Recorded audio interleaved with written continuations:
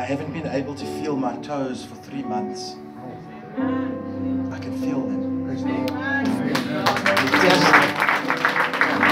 feelings coming back, the pins and needles are going. Amen. Amen. Amen. Immediately after you prayed, Amen. I just felt it, something left. Praise the Lord. And even here, there was no feeling here. I could feel Praise the Lord. sensation here. He came with expectant heart.